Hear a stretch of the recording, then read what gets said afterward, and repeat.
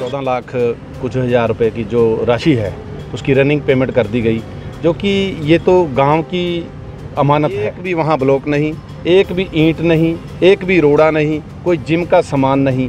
ये सीधा सीधा हम ये कहते हैं कि इसमें फ्रॉड चौदह लाख बत्तीस हज़ार पाँच सौ तीस रुपये इन्होंने पहले ही निकलवा लिए। वहाँ पर लगा कुछ भी जो इन्होंने पहले एक गली बनाई हुई है पर उसकी पेमेंट इन्होंने निकलवा ली वो मेरे पास सारे सबूत हैं। उनकी पेमेंट इन्होंने निकलवा ली है सारी। आज हम सरपंच सभी उपायुक्त महोदया को मिलने के लिए आए हैं जो कल आपके सामने मामला आया था डेरा गदला में। चौदह लाख कुछ हज़ार रुपये की जो राशि है उसकी रनिंग पेमेंट कर दी गई जो कि ये तो गाँव की अमानत है। जब तक नई पंचायतें नहीं बनती तब तक हम ऐसी राशि जो गाँव की ठेके से ज़मीन से और इन सोर्सेज से पैसा आया है। इनको इस्तेमाल करना बिल्कुल गैर कानूनी है। गलत तरीके से इसको इस्तेमाल किया जाता है। और दूसरी बात जिस कार्य के लिए ये रनिंग पेमेंट हुई है वहाँ आपने धरातल पे भी देखा एक भी वहाँ ब्लॉक नहीं एक भी ईंट नहीं एक भी रोड़ा नहीं कोई जिम का सामान नहीं। ये सीधा सीधा हम ये कहते हैं कि इसमें फ्रॉड है और इसमें कहीं ना कहीं जो करप्शन की है गंद आ रही है। कितनी लिमिट है सर वीडियो द्वारा पैसे निकलवाने की और क्या आदेश है सरकार द्वारा? पच्चीस हज़ार रुपये चाहे वो सरपंच हो चाहे वीडियोज़ हो पच्चीस हज़ार रुपये मेंटेनेंस के लिए आप पैसे निकाल सकते हैं। रनिंग पेमेंट की भी कुछ लिमिट है कि आप 10 परसेंट पंद्रह परसेंट कर सकते हैं। अगर वो काम चलता हो काम चल रहा हो तब निकाल सकते हैं। ग्राउंड पे आपके कुछ नहीं है। और ऐसे ऐसे भ्रष्टाचार के मामले बाहर निकल के आ रहे हैं, ऐसे ऐसे पैसों का दुरुपयोग हो रहा है पंचायतों का, जैसे आगे पंचायतें बननी नहीं है, ऐसे पैसे का इस्तेमाल किया जा रहा है, जैसे आगे पैसे का ज़रूरत नहीं है। हम आज भी उस बात पे खड़े हैं कि जब तक नई पंचायतें नहीं चुनी जाती, इन बातों पे पूरा पैरा देंगे, पंचायतों का पैसे का दुरुपयोग नहीं होने देंगे, जो अधिकारी इसमें सम्मिलित होंगे, उनकी आज शिकायत उपायुक्त महोदय के पास आए हैं। उपायुक्त महोदय पे हमें पूरा भरोसा है कि वो इसकी निष्पक्ष जाँच करवाएँगे जो दोषी होगा उस पर कार्रवाई होगी। अगर ऐसी बात आती है कि यहाँ से भी हमें न्याय नहीं मिलता तो आगे के दरवाजे खुले हैं चाहे कोर्ट में भी जाना पड़े। मेरा नाम साहब सिंह विरक है। मैं डेरा गदला से तीन प्लान से कंटिन्यू सरपंच हूँ।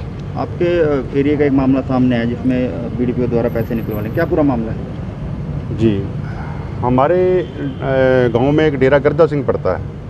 वहाँ पे थोड़ा सा काम होना था, हमने वीडियो साहब से रिक्वेस्ट करी कि ये हमारा काम करवा दो। एक कम्युनिटी हॉल बनाना है वहाँ और एक ओपन जिम लगानी है और एक पार्क बनानी है। एक ही जगह पे एक किला एकड़ एक एकड़ ज़मीन लेके उसमें हमने सारा कुछ तैयार करना था। तो वहाँ पे इन्होंने जो बनाना था, वो तो वहाँ ना एक ब्लॉक गेड़ा, ना एक ईंट गेरी ना सीमेंट कट्टा, कुछ भी नहीं है वहाँ कल देख के भी आए हैं कुछ भाई। और उसकी फ़ोटो भी खींच के मैं साथ लाया हूँ सबकी। तो वहाँ चौदह लाख बत्तीस हज़ार पाँच सौ तीस रुपये इन्होंने पहले ही निकलवा लिए। वहाँ पर इन्होंने कहा कुछ भी जो इन्होंने पहले एक गली बनाई हुई है पर उसकी पेमेंट इन्होंने निकलवा ली वो मेरे पास सारे सबूत हैं। उनकी पेमेंट इन्होंने निकलवा ली है सारी।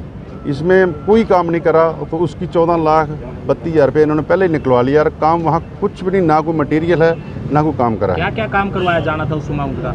उसमें एक कम्युनिटी हॉल बनाना था बहुत बड़ा और एक पार्क बनानी है एक उसमें जिम ओपन जिम लगानी है लेडीज़ के लिए। और एक ट्रैक बनाना है लेडीज़ के लिए सैर करने के लिए।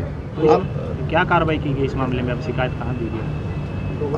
आज हम आए हैं कल छुट्टी थी बकरीद की छुट्टी थी आज हम डीसी साहब के पास आए हैं। अब सारे सरपंच भी आए हैं और गांववासी भी आए हैं अब हम डीसी साहब से मिलेंगे उनसे। मेरा नाम वीरपाल कौर है मैं ग्राम पंचायत डेरा गद्दा की सरपंच हूँ। तो मैम ये क्या वाक्य सामने आया गाँव में जो फर्जीवाड़ा घोटाला हुआ है उसके बारे में क्या कुछ जानकारी देना चाहेंगे? डेरा गर्जा सिंह है वो भी हमारी पंचायत में ही आता है। तो उसमें क्या किया है, बीडी वीडियो ने चौदह लाख बत्तीस हज़ार पाँच सौ की पेमेंट जो है, वो निकलवा ली गई है। और इसमें जो पेमेंट जो निकलवाई है, वो बिना मतलब कोई भी रनिंग पेमेंट निकलवा ली है, कुछ भी उधर मटेरियल कुछ भी हमने जो बनवाना था, डेरा गर्जा सिंह में कम्युनिटी हॉल जिम कुछ भी वहाँ पे अभी नहीं पहुँचा मटेरियल भी।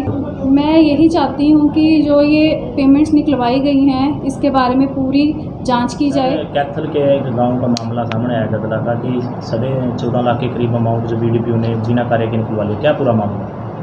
ये अभी कल और आज अखबारों में पड़ा है मामला और अगर ऐसा करे काम मौके पे नहीं हुए तो इसकी जाँच कराएगी इसकी।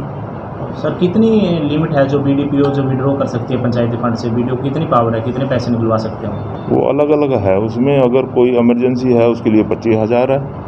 और फंड इसके हिसाब से अलग कम या ज़्यादा उसका है। जो सर चौदह लाख बत्तीस हज़ार रुपये निकलवा ले निकलवाले हैं हम्म। तो जो एडिशनल चीफ सेक्रेटरी के जो आदेश आए हैं उनकी अकॉर्डिंग क्या वो सही है सही पैसे अमाउंट निकाली गई है? उसमें देखेंगे उसका अगर उसमें चौदह लाख बिना किसी की परमिशन के उसने सीधे तौर पर निकलवा लिया है तो उसकी फिर जाँच कराएँगे हम। तो जाँच के लिए अभी कोई कमेटी गठित की है नहीं अभी कोई ऐसा ना तो लिखित में आया और इसको अखबार की वर्जन को लेके ही आज अपडेट संज्ञान गठित की गई है नहीं अभी कुछ नहीं कमेटी गठन की गई। तो क्या एक्शन लिया जाएगा अगर उसकी जाँच कराने के बाद जो तथ्य सामने आएगा उस पर एक्शन लिया जाएगा।